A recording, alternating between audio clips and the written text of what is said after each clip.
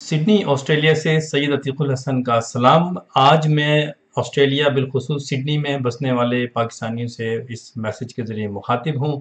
قائد اعظم محمد علی جناح کی اڑسٹھویں یوم وفات کے سلسلے میں ہونے والے پروگرام کے بارے میں آپ کو اب سوشل میڈیا کے ذریعے معلوم ہو گیا ہوگا۔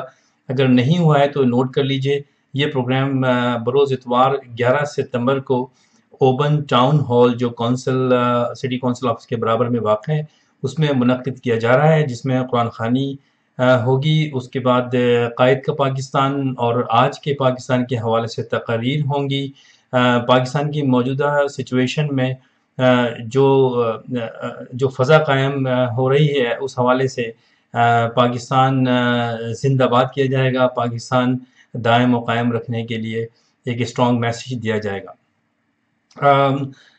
پاکستانیوں، سڈنی میں بسنے والے پاکستانیوں پاکستان کے خلاف باتیں کرنا، پاکستان کے نظریے کو یہ نفی کرنا اور حتیٰ کہ پاکستان کے پرچم جلانا۔ پاکستان میں کوئی نئی بات نہیں ہے۔ سندھ، بلوچستان اور پختونخوا میں کئی ملک دشمن تنظیمیں کافی عرصے سے چل رہی تھیں جو اب دم توڑ چکی ہیں۔ لیکن حال ہی میں الطاف حسین نے جو بکواس کی ہے وہ اس کو کبھی نہیں بھلایا جا سکتا۔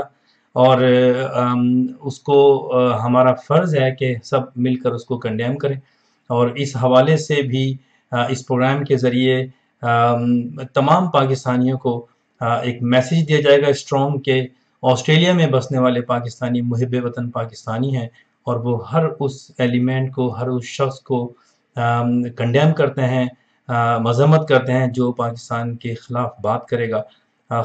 بالخصوص جو کسی پارٹی کا ہیڈ بھی ہو اور ایسی باتیں بھی کرے۔ لہٰذا اس پر بھی بات ہوگی۔ یہ بہت امپورٹنٹ پروگرام ہے۔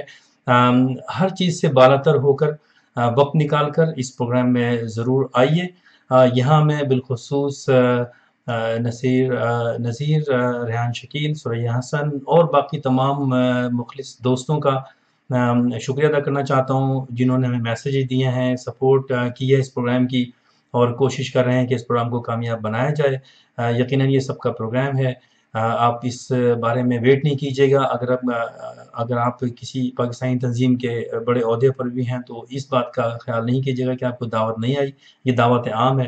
سب اس میں شریک ہوئیے گا اور اس پروگرام کو کامیاب بنائیں۔ اور وطن عزیز، میں یہاں سے ایک اسٹرانگ میسیج دیں، پاکستان زندہ باد۔